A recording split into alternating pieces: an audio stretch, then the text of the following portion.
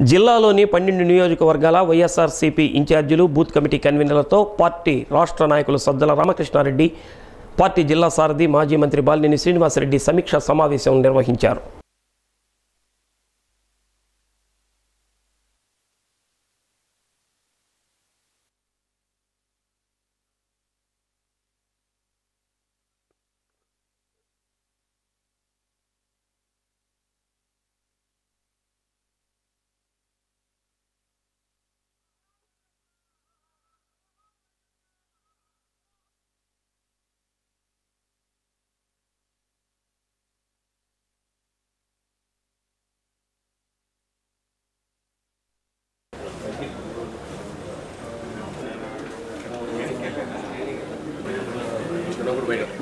ఈ సందర్భంగా సజ్జల రామకృష్ణారెడ్డి మాట్లాడుతూ రాష్ట్రంలోని నూట డెబ్బై ఐదు నియోజకవర్గాలకు సంబంధించి నూట యాభై నియోజకవర్గాలకు అభ్యర్థుల పేర్లు దాదాపు ఖరారయ్యాయన్నారు.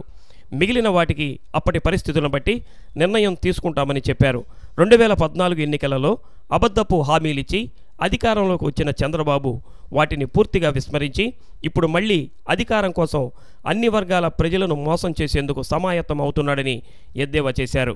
ఈ కార్యక్రమంలో సజ్జల రామకృష్ణారెడ్డితో పాటు వైఎస్ఆర్సీపీ ఒంగోలు పార్లమెంట్ అధ్యక్షుడు మాజీ మంత్రి బాలినేని శ్రీనివాసరెడ్డి గిద్దలూరు ఇన్ఛార్జ్ అన్న Rambabu Markapuram incharge Junke Venkata Reddy Yerragondapalem incharge Adimulam Suresh Darsi incharge Maddisetti Venugopal Addanki incharge Bachina Chenchu Garataiah Parchur incharge Ravi Ramanatham Babu SN Padu incharge TJR Sudhakar Kandukur incharge Manugunta Mahendar Reddy Kondapi incharge doctor Venkaiah ఇంకా జిల్లాలోని వివిధ నియోజకవర్గాల booth కమిటీల కన్వీనర్లు పాల్గొన్నారు.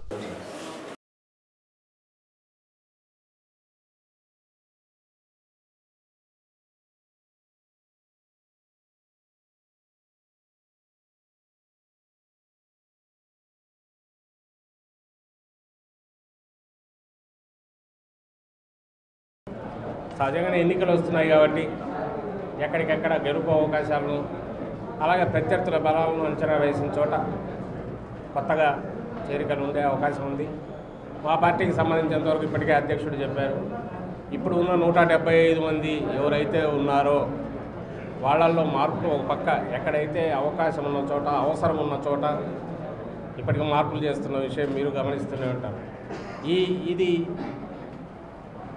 ఆఖరున B Pharm ఇచ్చేంత వరకు కూడా ఉండే అవకాశం ఉంది ఎన్నికలు అనేసరికి అందులోనూ ఈసారి ముఖాముఖి పోటీ స్ట్రైట్ ఫైట్ టీడీపీనా వైఎస్ఆర్సీపీనా తేరాల్సిన నేపథ్యంలో ఖచ్చితంగా అక్కడ ఉన్న ప్రత్యర్థుల బలాలను అంచనా వేసి వాళ్ళను ఎదుర్కోవడంలో ఏ రకంగానూ మనం వెనకబడకూడదు కాబట్టి ఆఖరి వరకు అందుకున్న అవకాశాన్ని అయితే పూర్తిగా ఉపయోగించుకుంటాం. అయితే నూట డెబ్బై ఐదు మంది ఇప్పుడు ఎవరు ఉన్నారో వాళ్ళు అంతవరకు అయితే ఇదిగా ఉంటారు. ఆఖరి నిమిషంలో అలాంటివి అక్కడక్కడ జరగచ్చు కానీ ఈరోజు అనౌన్స్ చేయాలన్నా కూడా నూట నలభై నుంచి నూట యాభై మంది రెడీగా పూర్తి క్లియర్ అయినవే ఉన్నాయి. ఓ ఇరవై ఇరవై ఐదు సీట్లలో. ఇంకా కొద్ది రోజులు వేచి దాన్ని సరైన నిర్ణయం తీసుకోవడానికి వేచి ఉండడానికి అవకాశం ఉంది కాబట్టి అది కూడా సద్వినియోగం చేసుకుందామని ఆ టైంలో ఆయన అనౌన్స్ చేయట్లేదు. రెండోది లిస్ట్ అనౌన్స్ చేయడం మీద అదేదో రికార్డు బ్రేక్ చేయడం లేకుంటే అందరికంటే ముందు లిస్ట్ అనౌన్స్ చేయాలనే వాటి మీద భ్రమలు లేవు. వైఎస్ఆర్ కాంగ్రెస్ పార్టీది ఎప్పుడూ ఒకటే స్ట్రైట్ పాలసీని. దాంట్లో పారదర్శకంగా ఉంటుంది తప్ప ఆ జగన్మోహన్ రెడ్డి గారిది. ఇలాంటి వాటిలో సెన్సేషన్ క్రియేట్ చేయాలనేవి లేవు అలాంటివి అయితే లేవు కాబట్టి